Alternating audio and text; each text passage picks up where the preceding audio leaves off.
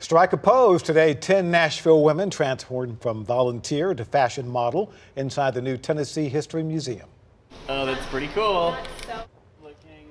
The photo shoot is uh, in honor of the 2019 Nfocus Model Behavior nominees. Every fall, the Nashville based magazine features 10 nonprofits and philanthropists who get to share about their nonprofit and their involvement with it.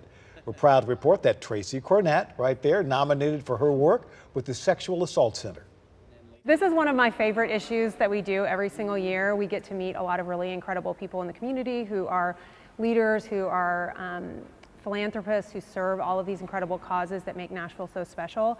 And we get to have fun with them. We get to make them feel special. We get to put them in the spotlight, which is not something they're accustomed to, and to showcase the work that they're doing and the work that their nonprofit is doing in Nashville.